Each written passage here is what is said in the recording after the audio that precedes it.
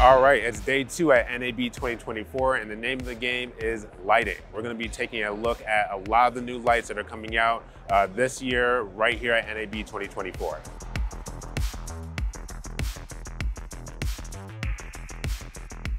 Now you might be wondering, what are we doing outside the Atomos booth if we're talking about lighting? And that's because they just announced their first light. It's called the Sun Dragon, and it's a RGB AW flexible LED light.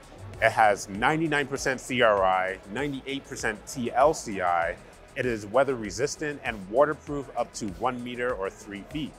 It can be controlled wirelessly through Wi-Fi and Bluetooth and is compatible with both wired and wireless DMX. I could really see this being great for indie filmmakers who are looking for something like a Swiss Army knife when it comes to lighting. It's a string light, so you can use it in tight spaces where you need it to be very flexible, or you could use it in its case and now it's normal light. And let's not forget that it's also RGB AW, so it's incredibly accurate and you can make just about any color that you want. Last but not least, you can control these lights from Ninja recorders.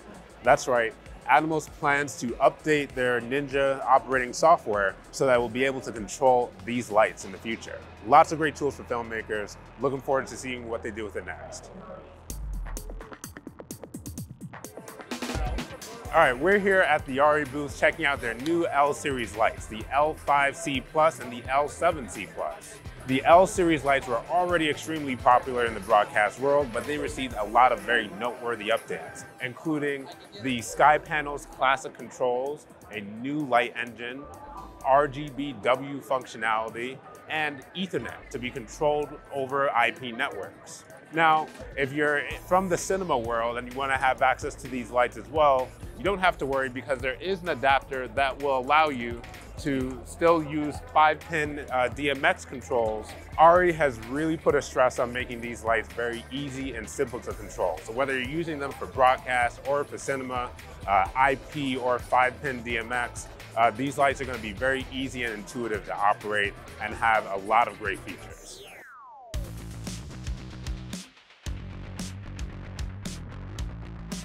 You can't talk about amazing lighting without bringing Aputure into the conversation, and boy, do they have something amazing this year. Today, we're taking a look at their Infinimat system. That is their 20 by 20, 8 by 8, 4 by 4, 2 by 4, 1 by 4, and 1 by 2 light panels. Uh, these lights are designed to be uh, expandable as well. You can connect multiple lights together. Uh, you can see above us that we have a giant 20 by 20 panel system uh, lighting this entire area right now. One of the cool accessories for the Infinimat system is their inflatable softboxes. These inflatable softboxes just make it really quick and easy to get uh, your lighting set up whether you're dealing with something as small as a one by two panel or as humongous as this 20 by 20. And the benefit of it is that the grid, when it's attached to this uh, inflatable softbox, doesn't sag because it's wrapped around uh, the inflatable softbox. So it really keeps it rigid. Another really impressive update that Aputure is bringing to market this year is their Sidus Link Pro app.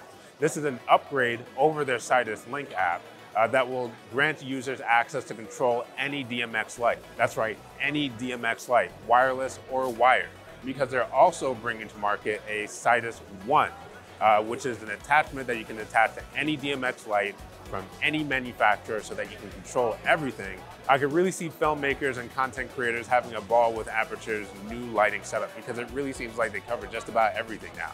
They have Fresnels, they have tubes, they have light panels, they have massive light panels. Whatever kind of lighting you need, it seems like they have it in some LED form.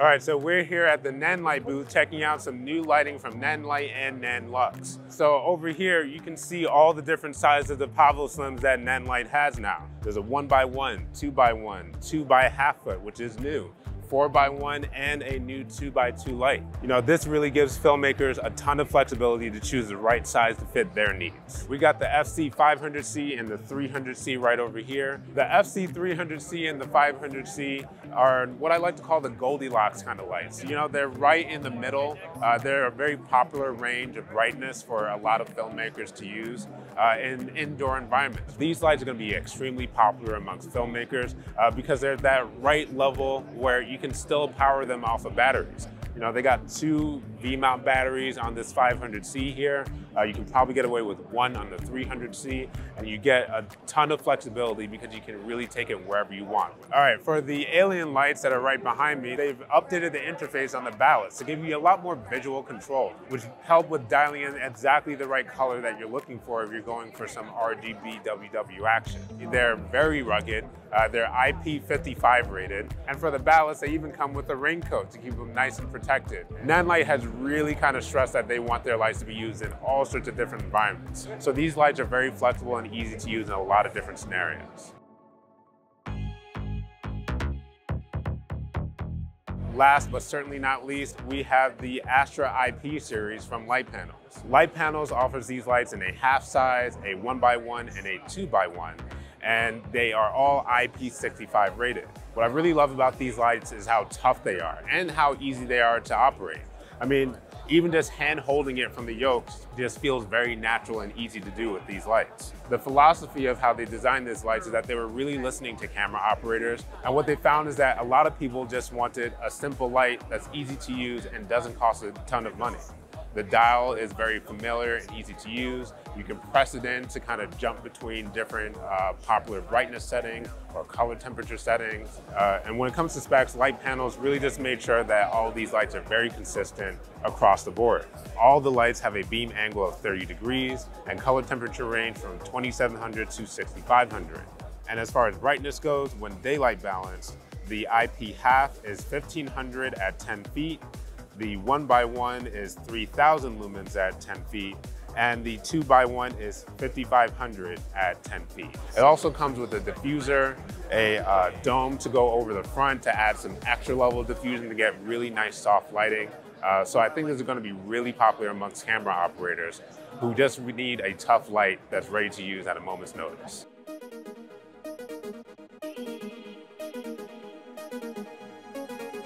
That's a wrap on lighting for NAB 2024. There's a lot of great options that are out there, a lot of IP systems for controlling lights across the network, a lot of IP rated lights for using them in tough scenarios.